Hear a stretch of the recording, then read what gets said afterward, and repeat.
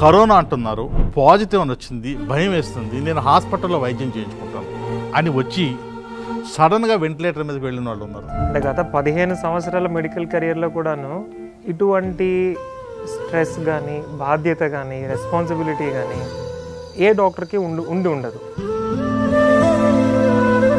జనరల్గా basic critical care కూడా follow కావడానికి అందరు భయపడుతుండే. పేషెంట్ ముట్టుకోవడానికి భయపడుతుండే టచ్ చేయడానికి భయపడుతుండే.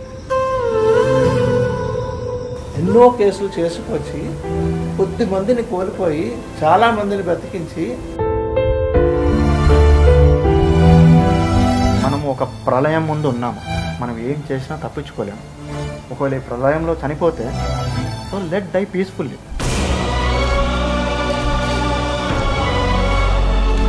ఒక పర్సన్ నయం చేయలేకపోవచ్చు అని బాధలో ఎంత ఉన్నా కూడాను ఇంకో పది మంది నయమై వచ్చి సార్ మీ వల్ల బాగున్నాము అని ఒక మాట అన్నప్పుడు ఆ ఆనందము ఆ సాటిస్ఫాక్షన్ అది కూడా మనం చెప్పలేనటువంటి సాటిస్ఫాక్షన్.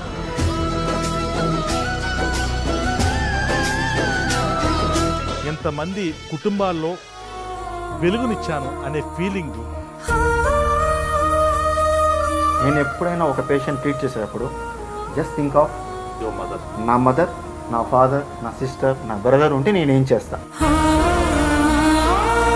వీరిని త్రిమూర్తులని పిలాలి.